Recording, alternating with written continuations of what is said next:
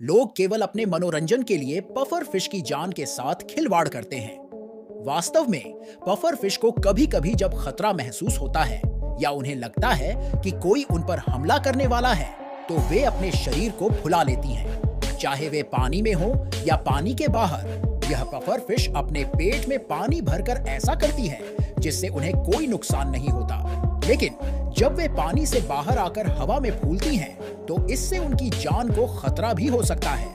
लेकिन लोग फिर भी इन्हें परेशान करने में तुले रहते हैं। आपने कभी पफर फ़िश को देखा? कमेंट करके ज़रूर बताएँ।